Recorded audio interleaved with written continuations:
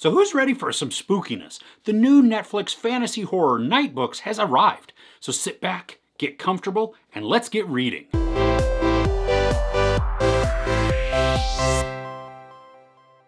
A boy obsessed with scary stories is trapped by an evil witch in her magical apartment, and he must tell a scary story every night in order to stay alive. So I thought this might be a movie similar to Goosebumps, but maybe with just a slightly darker turn. And then when I saw that this was rated TV PG and it was geared towards families, I began to rethink how dark it actually might be. We follow Alex, and he's a kid who's really into horror. His room is covered with posters from slasher films and various horror movies from just a variety of decades. When we meet him, his parents are discussing something that happened to him, but it's kind of vague. But whatever it is, Alex is deeply affected, and then he's destroying his room. He's just tearing posters off the walls and collecting all the stories that he's written into his backpack. He sneaks out of the apartment as he attempts to go down the elevator to the furnace where he can burn his stories.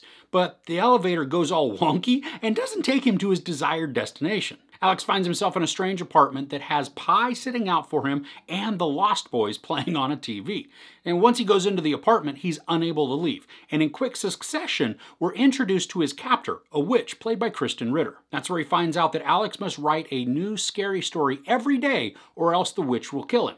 So no pressure, right? So this is a fairly dark story, especially one that's geared towards families and kids. The aesthetics in this are pretty well done. The apartment is not typical, and it has rooms that are just more spacious than they really should be. And the visuals used to create these, I thought looked really good. One room is this library, and it probably goes up like five or six stories in height. It's complete with these intricately designed winding staircases, and then filled with an immense amount of books.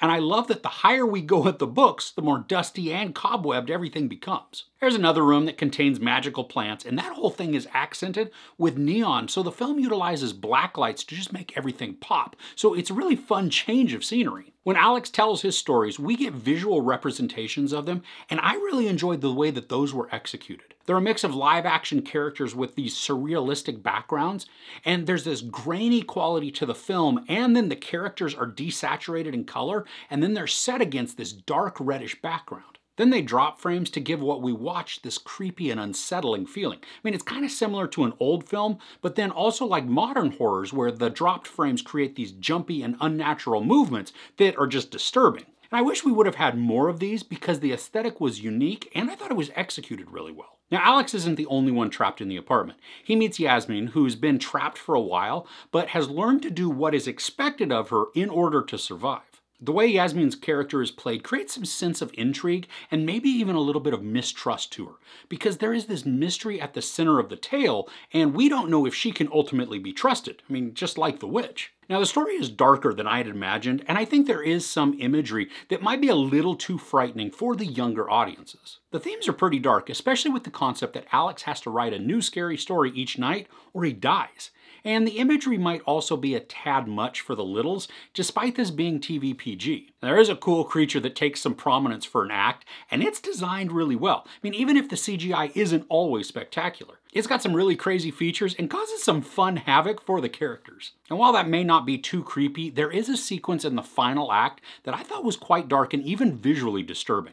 A character is pretty freaky looking with some this creative makeup that's applied, and there's also a pretty gross exchange towards the end, which surprised me, but I also enjoyed it because it was unexpected. Now the story is very familiar, but that didn't bother me. I mean, while there is some mystery attached, because this is more geared towards a family audience, the mysteriousness it's just not very complex. What becomes fun and even tense at times is the quest that Alex is on to try and find a way to escape.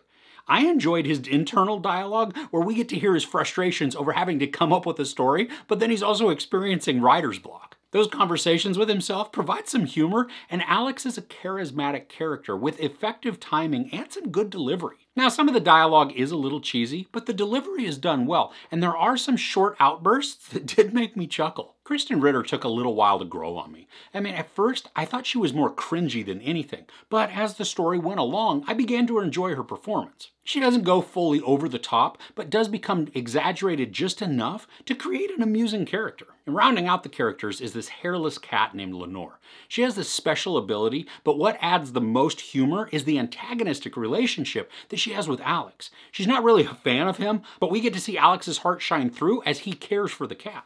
He's determined to win her over, which gives us good insight into him. We see his longing for connection and friendship, and he's willing to take some abuse if he'll ultimately end up with an ally. And the same goes for his relationship with Yasmin. She's very standoffish, which is mostly out of self preservation. Because she's been locked up for much longer than Alex, she knows the treachery and the danger that comes from the witch. And Yasmin knows how to play the game and survive, so she's not willing to rock the boat and put herself in danger. This also means that she doesn't get all chummy with Alex because his mess ups could negatively affect her. Or if she gets attached to him and then something bad happens, she just becomes heartbroken. But Alex, searching for that companionship, he continues to reach out. He's trying to build an alliance. And this is a good message that comes across to the audience. We see some themes explored having to do with friendships from Alex's past, and I like that we get a balanced view, so we don't always just see either the struggles or successes of trying to make friends. The story is paced fairly well, and I don't think there were any portions that felt drastically uneven. It's 100 minutes long and was able to hold my attention just as the story would alternate between creepy, then mysterious, then action, and then back to creepy. And all the while, there's this small infusion of humorous moments to keep the tone from getting just extremely dire. Now, because this is geared towards the family audience, the story doesn't leave us in a dark state of mind, even though it does get fairly grim in that final act. There's resolution here, and as the story wraps up, our characters have grown and then they've learned, and so we get to have a happy conclusion. So, overall, Nightbooks is a fun story adventure with some good visuals and characters that do become endearing. We get to watch some growth from the players, and while this movie is meant for family viewers, there are creepy story elements that allow this to have some weight to the narrative that should provide enjoyment for a wide age range. I mean, if you're looking for hardcore suspense or terror, this isn't going to satisfy. But if you want a fun but dark fairy tale, I suggest you give it a try. One last note, there is a remake of the Lost Boys theme song that's played here, and it is just a great version. I mean, it took me a minute to recognize it, but then once I did, I thought it was wonderful. There's no sex or nudity, a little profanity, and a bunch of non-bloody violence. I give Nightbooks three and a half out of five couches. So as we get closer to October and Halloween, are there any spooky movies that you're looking forward to seeing? Let me know in the comments below. If you enjoyed this review, please give it a like. Also, don't forget to share and subscribe. I'm Chris. This is Movies and Munchies. Thanks for couching with me.